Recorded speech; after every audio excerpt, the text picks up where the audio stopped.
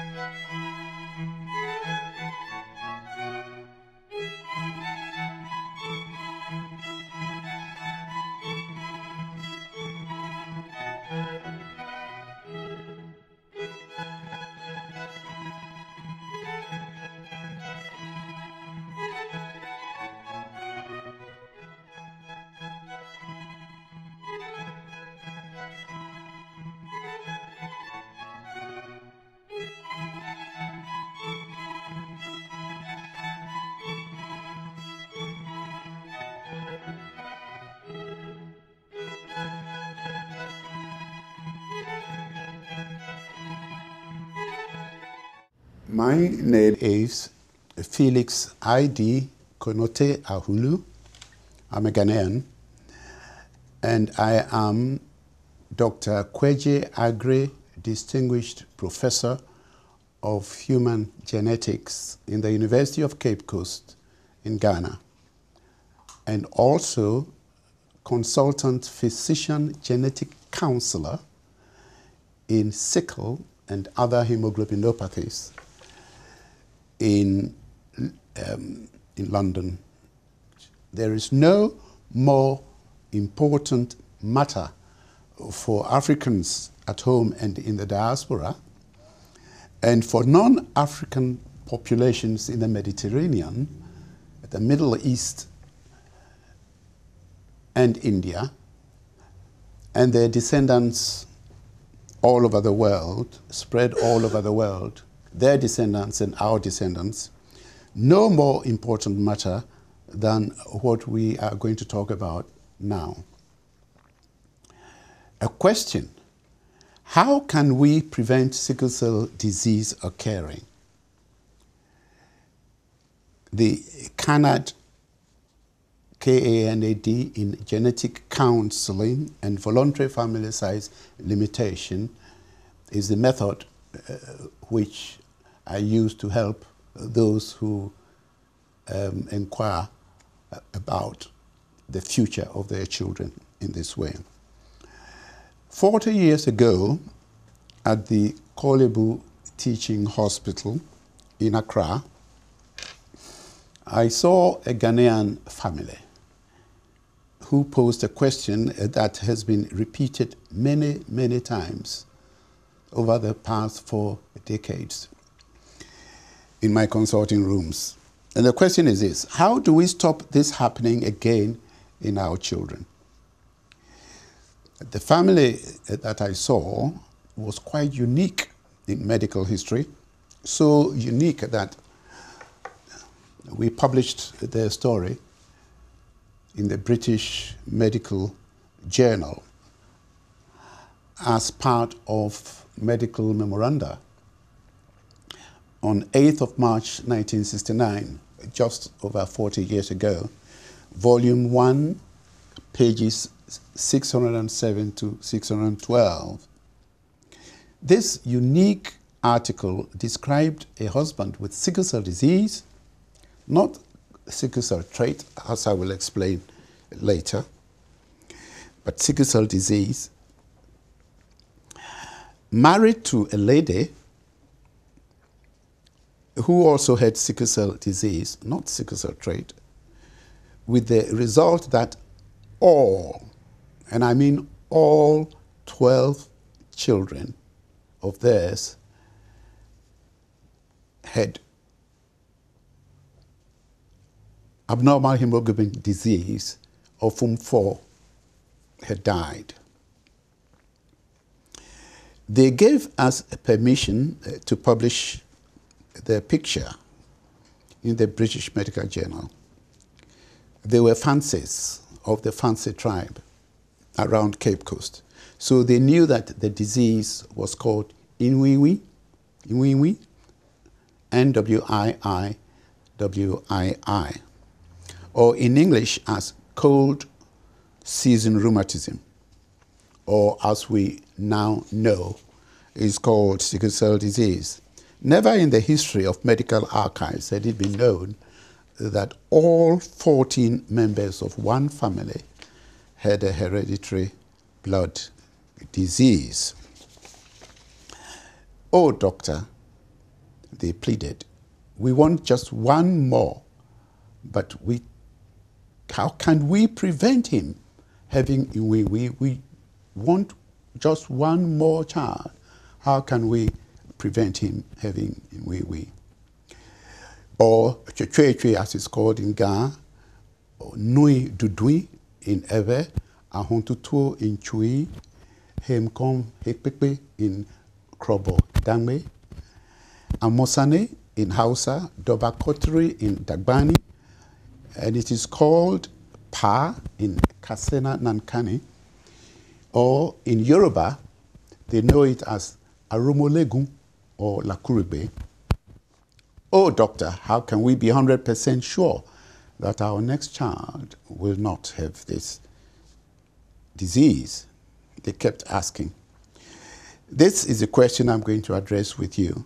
To start with, and you'll be asking this question, I'm sure, why after 12 children do these parents want yet another child?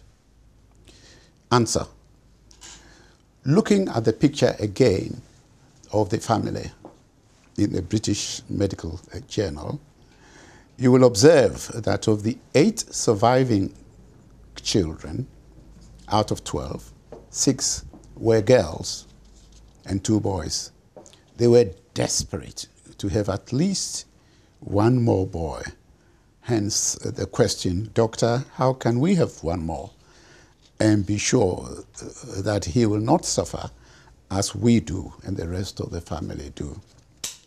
Turning first uh, to the mother of 12, I said to her, You have inherited from your father something that stiffens your blood cells at the same time as your mother has given you the same something.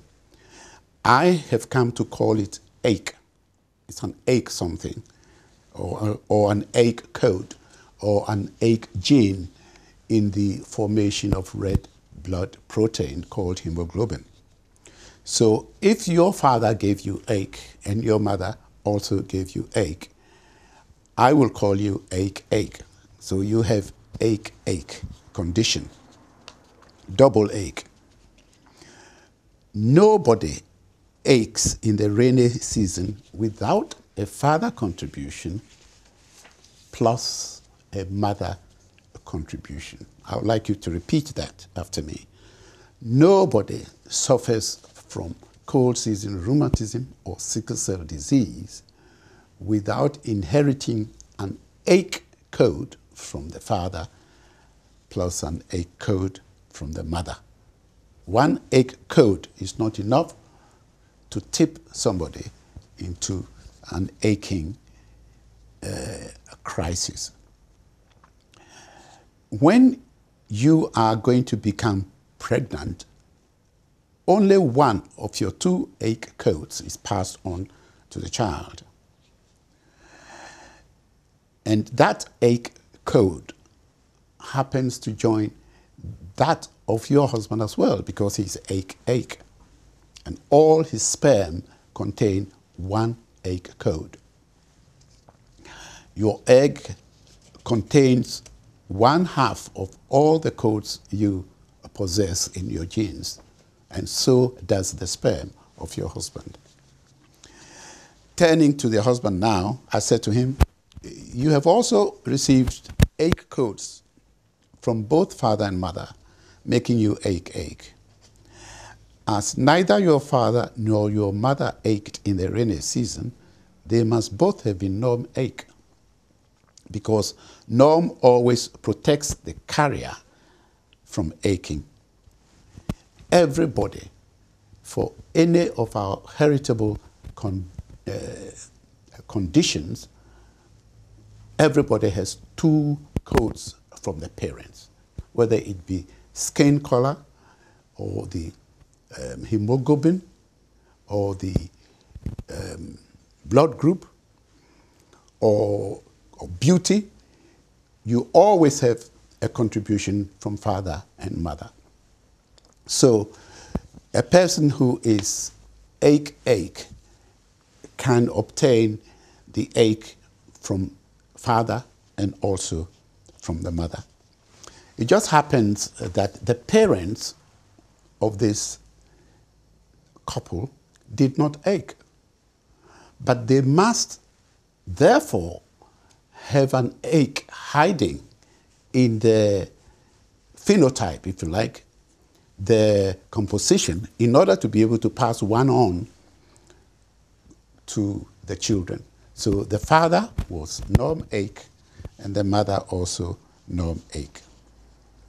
Remember this when you are passing your ache genes to the children, you do not give both of your aches to the child. Otherwise, the child would end up with four aches. Let's go over this again because I want you to get it straight. Your parents who never had iwiwi must have been norm ache, norm gene plus ache gene, to have been able to pass the ache genes to make you to have ache ache, to pass on the ache genes to make you have ache ache.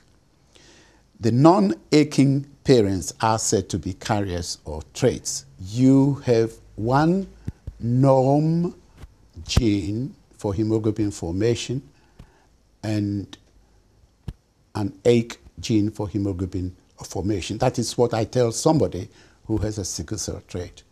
They do not know unless I, tend, I test the blood.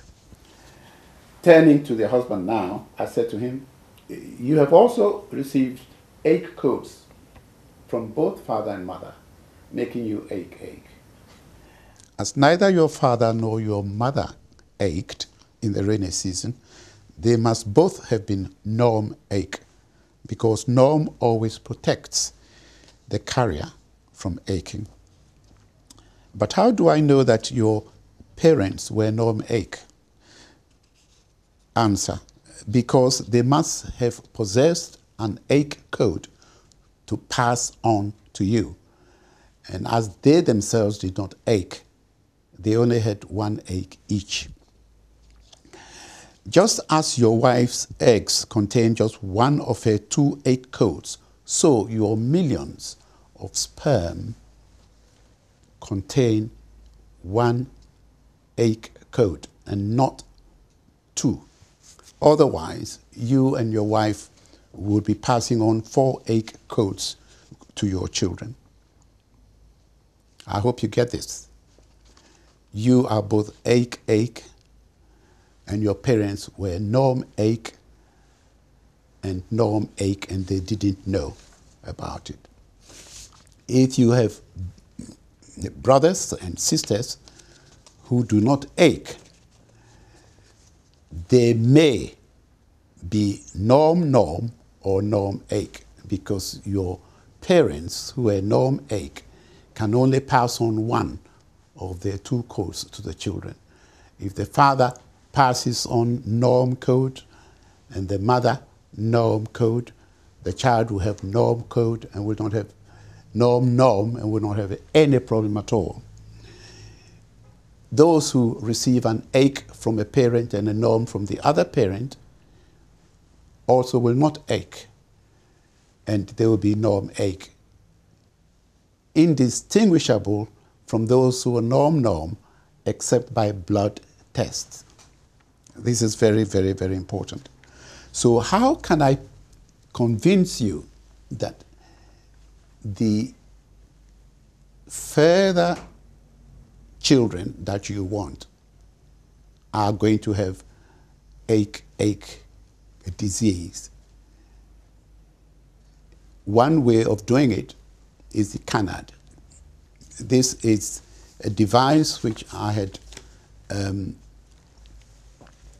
produced to show that uh, uh, ache, ache, marrying ache, ache will always end up with ache, ache children.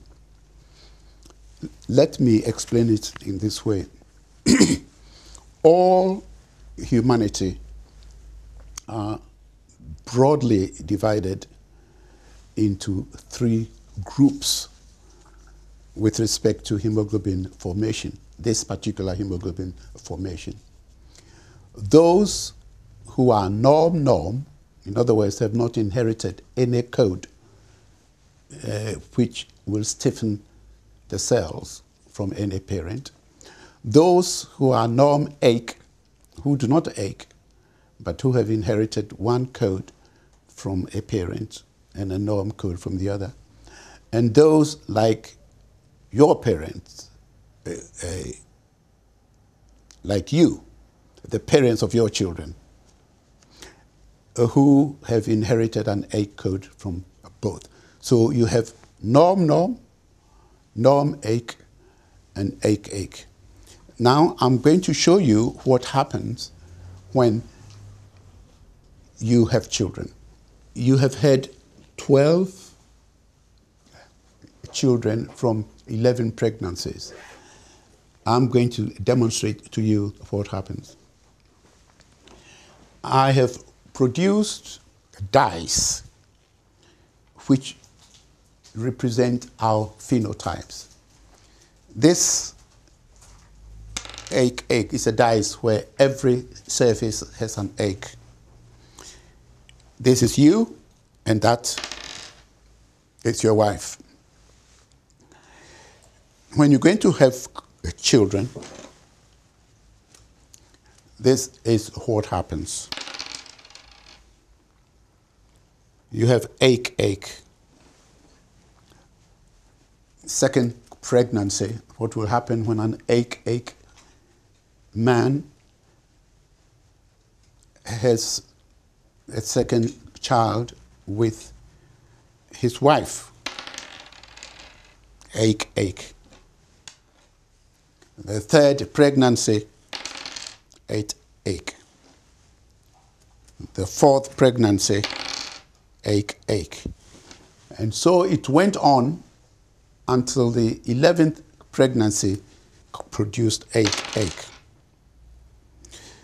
But you remember your, the fifth pregnancy uh, produced twins. What happened there? Two eggs of you, the mother, and two sperm of you, the father. What happened at conception? You had an ache, ache girl, and an ache, ache girl happened to be female. So, what is the answer to the question which you posed? How can we prevent our next uh, child having an ache ache syndrome? The answer is you can't. Because every time you conceive, you will have ache ache uh, children. Now, there are six possible combinations of matings of those who are norm norm, norm ache, and ache ache. So, if I got a patient who is ache ache and wants to get married, and asks me or the chances of disease in the children. I take the ache ache as a lady who meets a man who may be norm norm or norm ache. So let's see what happens when an ache ache person marries a norm ache person. You see that it is a gamble because we now have an ache ache child. A patient marries somebody who is perfectly well, and you find that the first child is ache ache. But you could have a child who doesn't ache at all, as you can see when you throw the kanad. So, what advice do I give them? I tell them that uh, if you do not know the phenotype of the person that you are going to marry, you better check. You say you want somebody uh, who will give you a child who does not ache. The only way that this can happen is when you get a spouse who is norm norm, as you can show. However many children you have, none of these will be ache ache. They will all be norm ache. And it is important to explain to the children you have who are norm ache what I'm doing now, the chances of illness in the future. So, ache ache marrying norm ache is not a certainty of avoiding ache ache disease is a genetic gamble.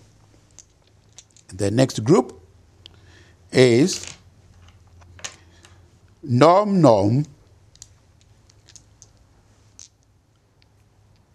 marrying ache ache. We have shown that all the children are going to be norm ache.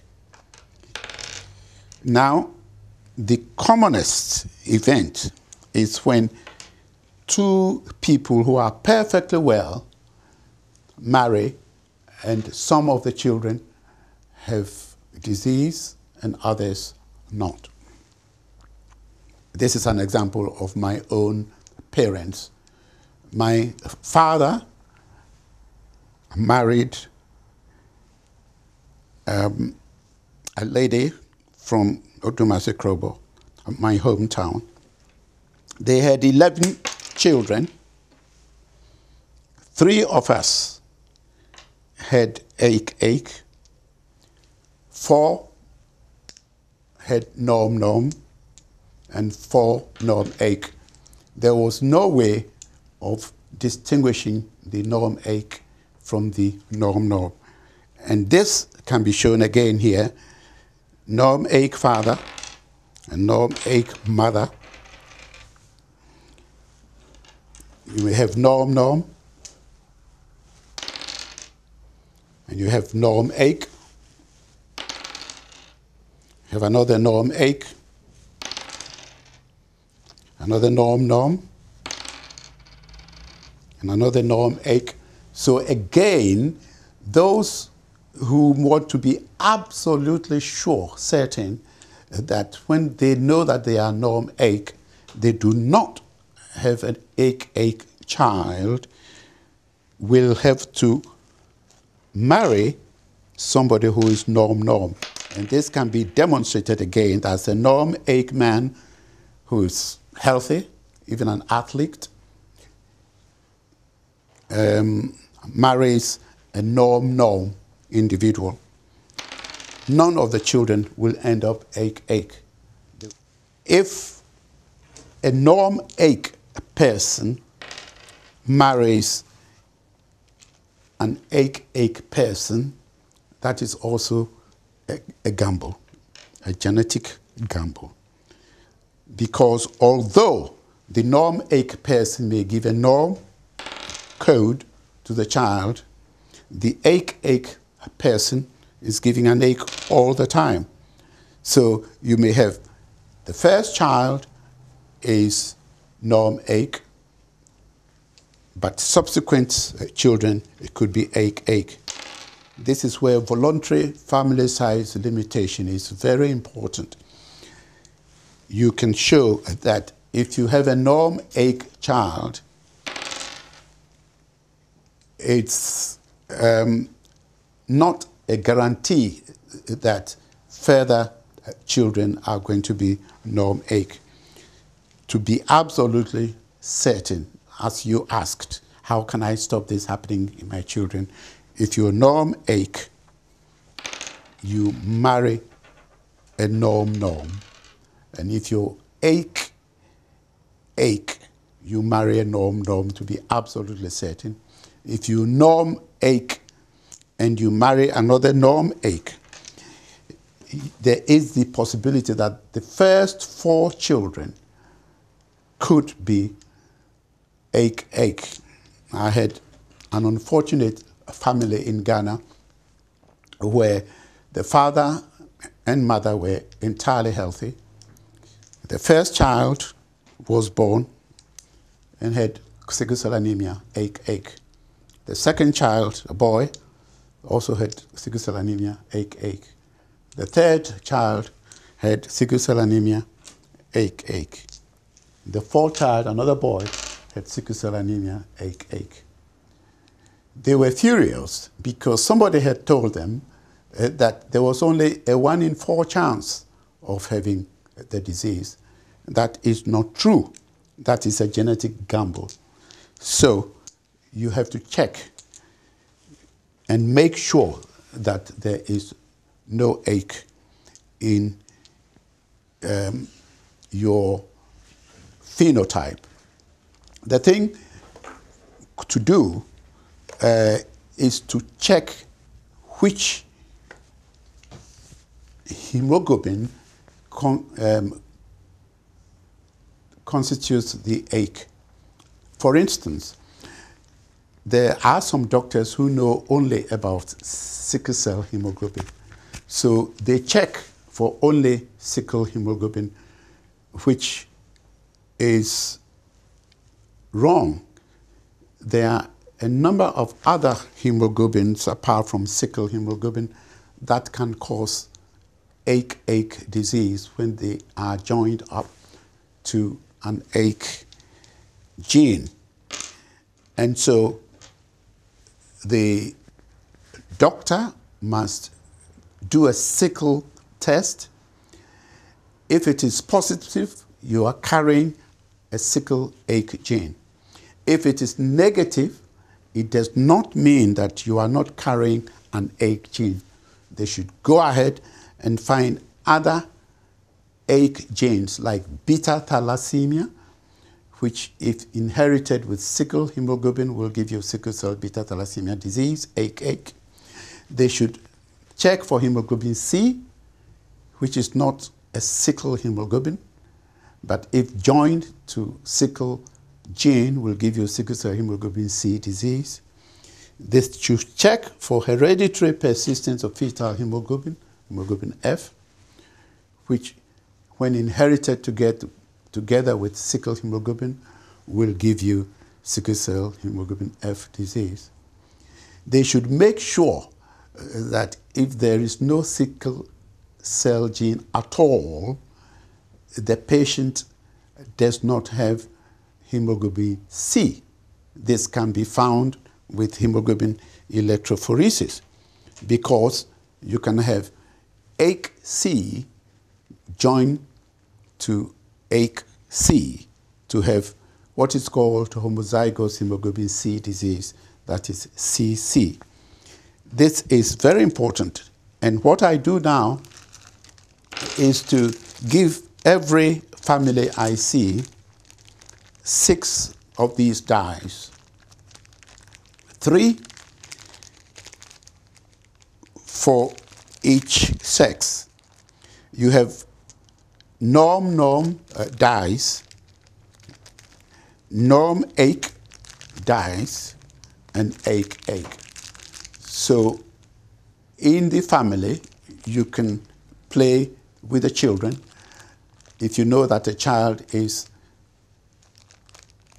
sickle cell trait, that's norm ache, you ask him or her to throw the dice with another sickle cell trait, norm ache, to see how often um, ache ache is likely to come up. Stressing to them and the parents that the thing is a gamble if you think that norm is going to, it's going to come up um, all the time. Parents who are norm ache and whose children do not have ache ache must identify those who have norm ache and advise them about the chances of hereditary disease in their offspring. Because a grandfather could have a grandchild who is ache ache when he knew he knew himself that he was carrying an ache gene and did not advise his children and grandchildren. Another reason why it is very important to make sure that ache ache offspring do not arise is that some developed countries use um, very powerful painkillers in treating these patients. Some of them have given them morphine, others have given them heroin, and some of the patients have become addicted. Intelligent patients could be addicted through the way they are treated. If you don't want any of your children or grandchildren uh, to be given extremely powerful painkillers, you can, through the KANAD um,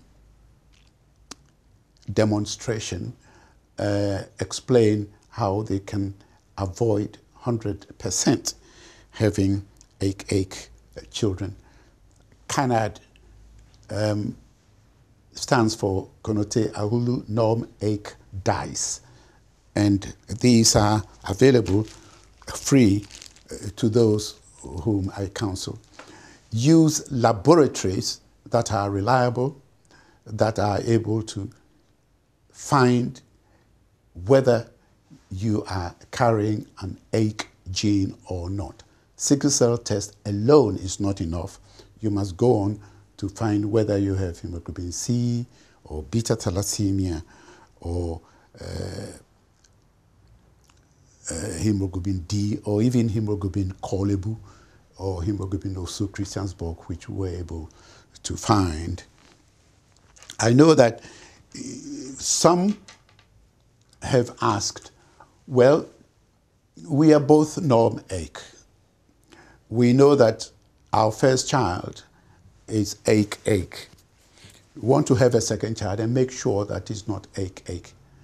Can we test the child? And if it's ache ache, abort the child? The answer is quite simple. There are many ache ache children and adults who are more intelligent than those who do not have norm ache. And some of the patients themselves know this, and they know that they are achievers. We have been able to arrange uh, conferences, international conferences for sickle cell disease achievers. We had one uh, at the Royal Society of Medicine in London, and we have another one.